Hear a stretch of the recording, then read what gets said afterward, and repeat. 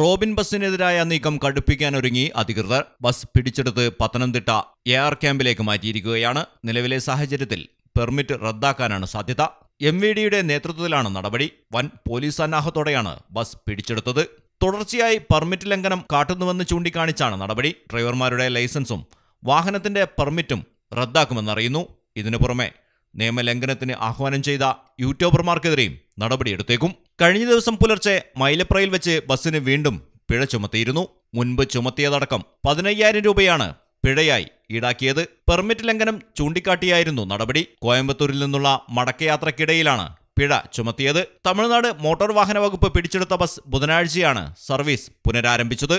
എന്നാൽ നടപടി അന്യായമാണെന്നും കോടതി വിധിയുടെ ലംഘനമാണ് ഇതെന്നും റോബിൻ ബസിന്റെ നടത്തിപ്പുകാർ പറയുന്നു. News desk Malayalam television.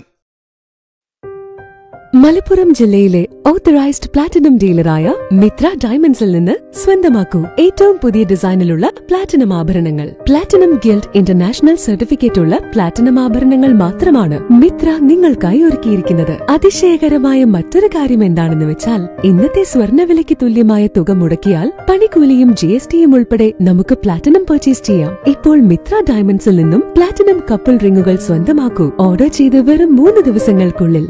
Mitra diamonds മാറുന്ന കാലത്തിന്റെ ആഭരണ സങ്കല്പങ്ങൾക്കൊപ്പം മിത്ര ഡയമണ്ട്സ് താഴെപ്പാലം തിരൂർ.